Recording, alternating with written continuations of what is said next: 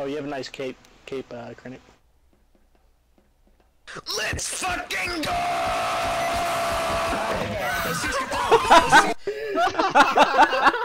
oh my god. I swear, expect nothing more.